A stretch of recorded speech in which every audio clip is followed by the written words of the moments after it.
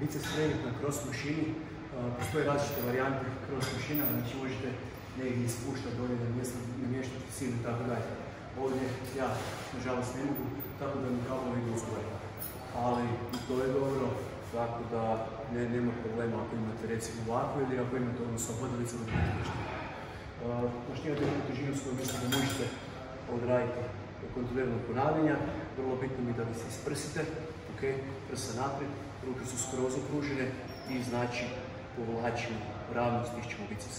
Kao kao da želite napraviti onu duplu biceps pozu, ista je stvar. Znači nemojte s rukom ići prema naprijed, nego više malo unazad, kontroliramo bicepsima, ucite, stisnite, to je to.